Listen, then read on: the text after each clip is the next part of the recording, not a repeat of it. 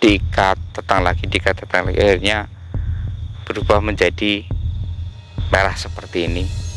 Tapi dia tidak sadarkan diri teman-teman. Ya dia mengelilingi ini tak sadarkan diri. Ya. Tapi baru kali ini saya melihat ada orang yang ingin sekali haji sampai dia itu tak menyadarinya atas izinmu ya Allah. Kembalikanlah ruh yang ini. Sadar kembali. Allahu Akbar. Assalamualaikum warahmatullahi wabarakatuh sahabat mata putih. Ini saya berada di sebuah bukit. Dan bukit ini adalah bukit yang kata orang itu terhubung dengan Arab teman-teman. Ya secara dimensi mungkin seperti itu tapi secara nyata tidak teman-teman. Dan di sini teman-teman ini ada sesuatu yang beredar teman-teman. Jadi info yang saya dapatkan itu 17 tahun yang lalu ya teman-teman ya. 17 tahun yang lalu ada seorang laki-laki dia itu niat sekali untuk haji tapi niatnya itu dua kali gagal teman-teman dua kali gagal. Ya. Ini yang menyebabkan saya sedih sebenarnya teman-teman ya. Dia itu dua kali gagal ya. Dia gagalnya itu karena dua kali tertipu teman-teman. Jadi pertama dia sudah mengumpulkan uang ya untuk berangkat haji tetapi dia tertipu oleh travel abal-abal teman-teman akhirnya dia sedikit shock ya karena tertipu. Dan yang kedua dia juga melakukan haji beda travel lagi ya. Akhirnya karena gini loh teman-teman ya. 17 tahun yang lalu dia ingin haji tetapi karena kuota haji yang dimiliki Indonesia itu sangat terbatas dia itu nggak sabar kalau harus menunggu lama. Sedangkan dia itu punya uang. Akhirnya dia menggunakan agen ya teman-teman ya untuk memberangkatkan dia haji. Ketika dia sudah membayar ya akhirnya gagal juga. Dan sejak saat itu ketika gagal dua kali dalik beliau malah justru jadi gila. Dan beliau itu ketika gila beliau mengelilingi sebuah pohon dan ibarat orang itu dia kayak kaji. Jadi tadinya itu dia itu berkeliling dengan kain mori ataupun kain kafan ya. Itu warnanya putih. Terus dia berkeliling hingga darah bercucuran dia tak pernah henti. Akhirnya kainnya menjadi merah merona. Itu yang terjadi teman-teman. Dan hingga dia wafat dalam kondisi seperti itu. Dia sudah dihentikan oleh beberapa orang, kayak orang gila, ya. Namanya juga dia itu sudah menjadi gila, maka dihentikan, tetap melanjutkan lagi. Sudah diikat dibawa pulang, akhirnya dia nggak tahu kenapa bisa melepaskan diri sendiri dan dia melakukan hal itu lagi. Akhirnya ya sudahlah dibiarkan hingga badannya itu berlumuran darah. Karena saking inginnya haji beliau itu sampai wafat di tempat. Dan saat ini hingga saat ini beliau masih suka menampakkan diri dengan jubah merahnya mengelilingi pohon tersebut. Mungkin di, diingatan dia itu atau di pikiran dia sebelum dia meninggal itu kayak kapah-kapah-kapah dia mengelilinginya terus-menerus. Ini memang menurut saya sedihnya luar biasa. Kenapa bisa terjadi seperti ini? Saya juga nggak tahu. Tapi memang haji itu wajib bagi yang mampu, teman-teman. Tetapi jika Allah meridoinya, meskipun dia itu sudah mampu, tapi Allah belum meridoinya ya seperti ini, teman-teman. Tapi jangan diambil pusing, ya karena memang kalau sudah waktunya pasti berangkat. Ya teman-teman berangkat kok. Mending kita langsung ke lokasinya saja. Tadi siang saya sudah mengintai dan saya menemukan tanda-tanda kalau malam ini dia akan menunjukkan dirinya. Ayo teman-teman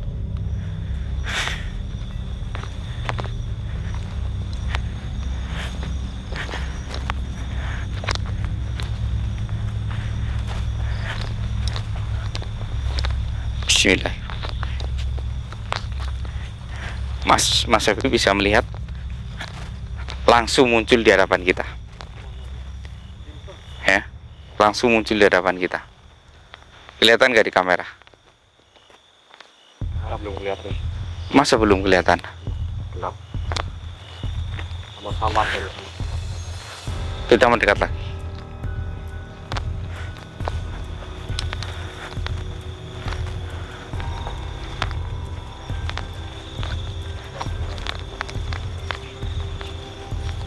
kelihatan? Ya seperti itulah. Dia mengelilingi pohon ini sampai dia wafat. Ya dulu kain kafannya itu yang buat melilit dirinya itu berwarna putih teman-teman. Karena beliau percucuran darah diikat tetang lagi diikat tetang lagi. Akhirnya berubah menjadi merah seperti ini. Tapi dia tidak sadarkan diri teman-teman. Ya dia mengelilingi ini tak sadarkan diri. Ya. Tapi baru kali ini saya melihat ada orang yang ingin sekali haji sampai dia itu tak menyadarinya. Ini wallahu alam hanya Allah yang tahu ya teman-teman ya. Apakah saya bisa memecahkan misteri ini atau enggak? Biasanya teman-teman ya kalau dia sudah kelihatan muncul lagi gini dia akan mengelilingi seperti ini selama tiga jam. Dan ini mungkin kita nggak tahu sudah berapa lama dia mengelilingi seperti ini. Mending kita mendekat aja ya Mas Evi ya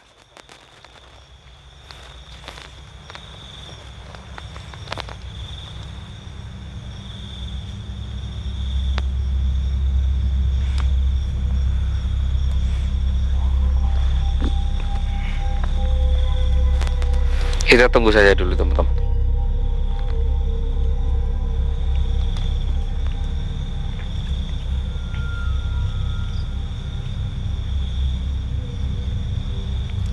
Saya akan biarkan dia mengelilingi ini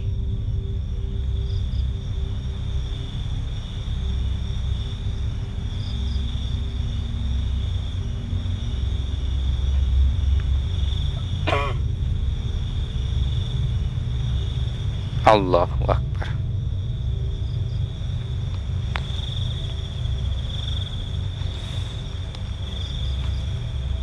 Ini bisa jadi contoh buat kita ya teman-teman ya.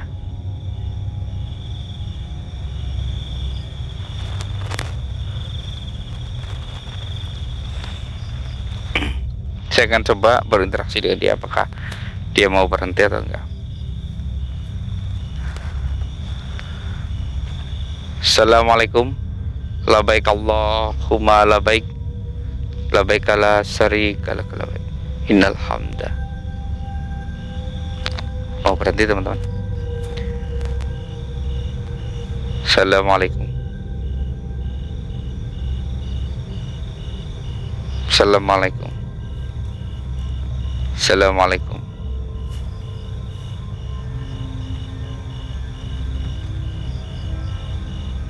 Bapak. Bapak masih ingat Apa yang terjadi?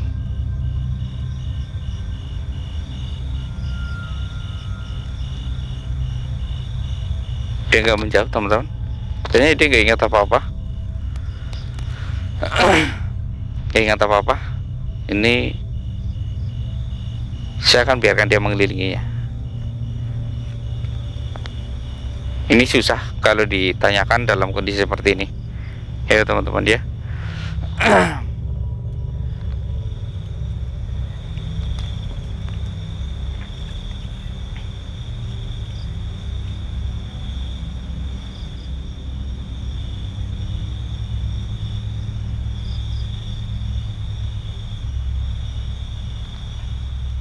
Jadi teman-teman ini saya akan biarkan dia terlebih dahulu. Nanti saya akan bantu menyadarkan dia. Ya saya ingin dia ini sadar. Saya nggak mau ruhnya dia itu seperti ini terus. Saya nggak mau teman-teman. Saya nggak mau. Benar-benar nggak mau ruh dia seperti ini terus.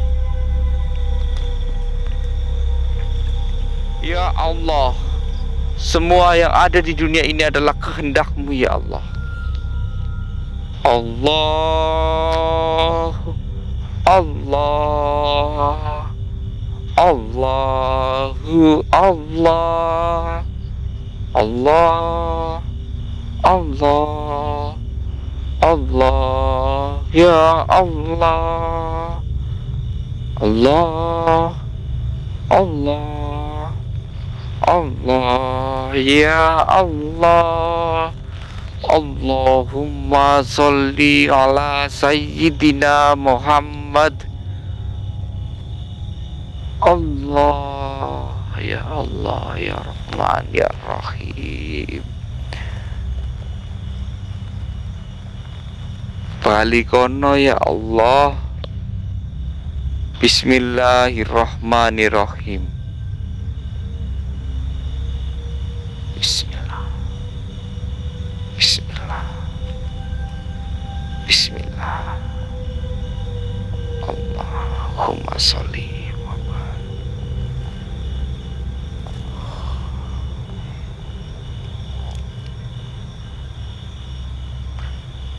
Atas izinmu ya Allah Kembalikanlah ruh yang ini sadar kembali.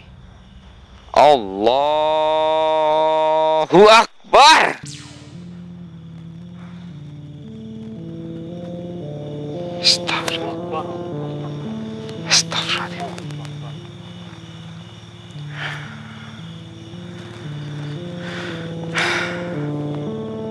Ini teman-teman awal mula dia itu sebelum gila itu dia mengelilingi seperti ini ya. Akan biarkan dia mengelilingi satu putaran dan saya akan menghadangnya A'udzubillahiminasyaitonirrajim Bismillahirrahmanirrahim. Labaik Allahumma labaik Labaik la zarika laka labaik Innal hamdu Bismillahirrahmanirrahim. Assalamualaikum. Assalamualaikum.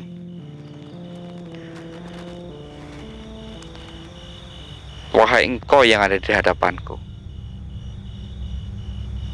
Siapa nama kamu?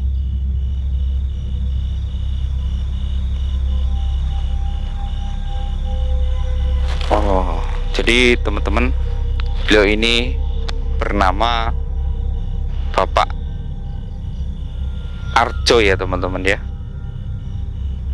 Bapak Arjo. Bisa juga dipanggil Bapak Marco ya teman-teman.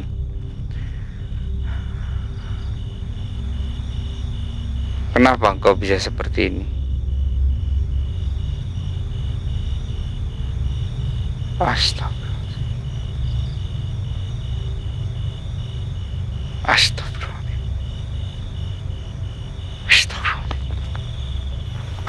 Jadi teman-teman Ini adalah seorang Bapak Arjo ataupun biasa dipanggilannya itu Bapak Marco Beliau adalah seseorang yang dulunya itu jawara ataupun ahli silat.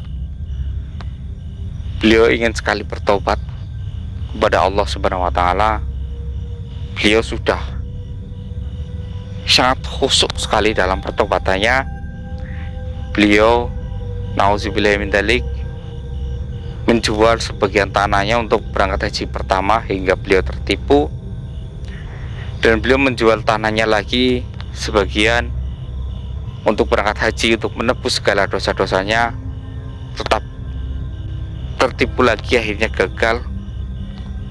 Dan beliau bingung. Pikirannya sudah tak karuan kalau beliau menjual tanah ini lagi tidak cukup.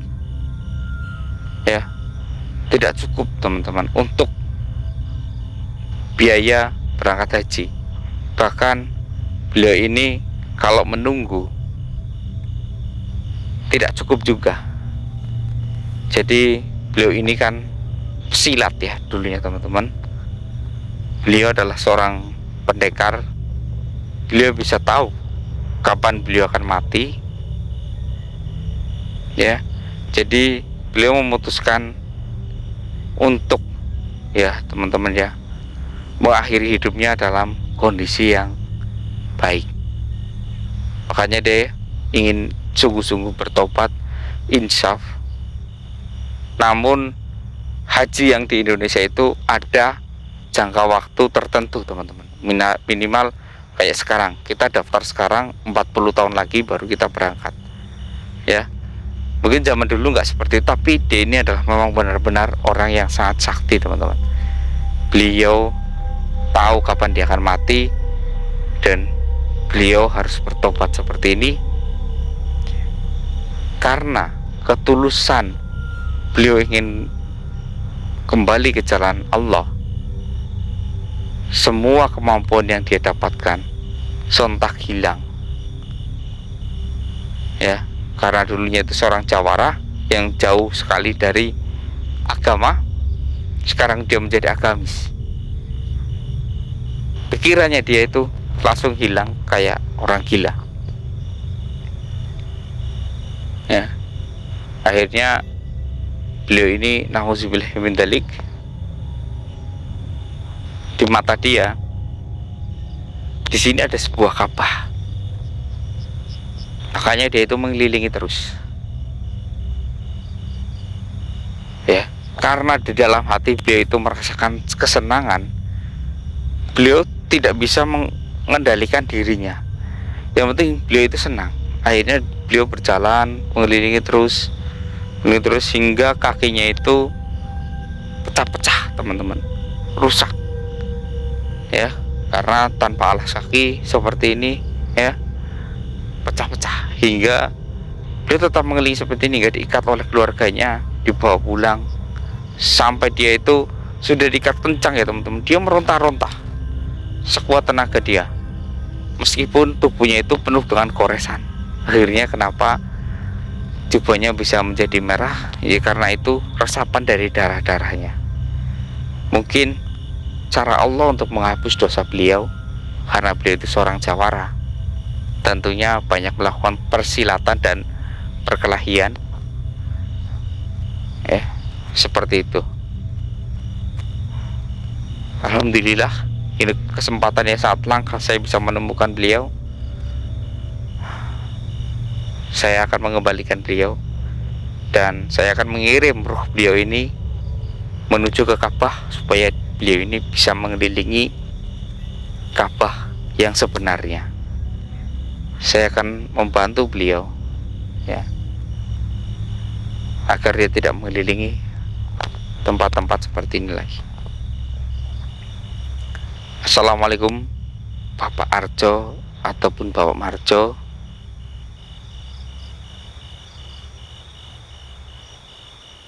Karena engkau sudah berbentuk roh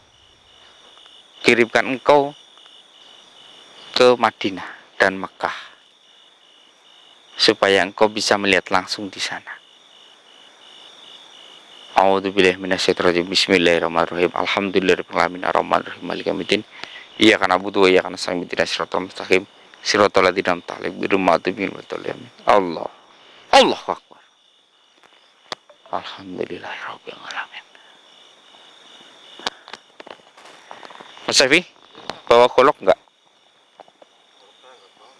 kita harus menebang pohon ini sebelum ada yang menyalahgunakan tempat ini iya kalau enggak ditebang ini ada oh Oh iya.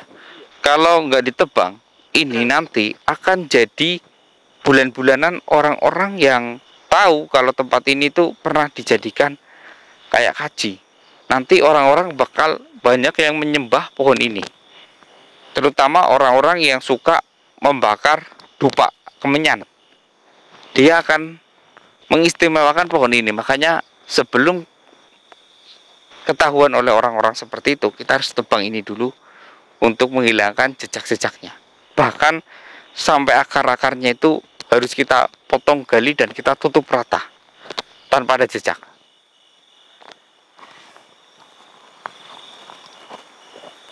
takut ini jadi kemusyrikan nih untuk pohon ini yaudah mas Safi kita ada golok ya tadi di bagasi ya Iya ada ada ada. Saya ingat ada. Iya. tangkul bawa nggak Tanggul ada. yaudah kita ke sana yuk ambil yuk Bentar.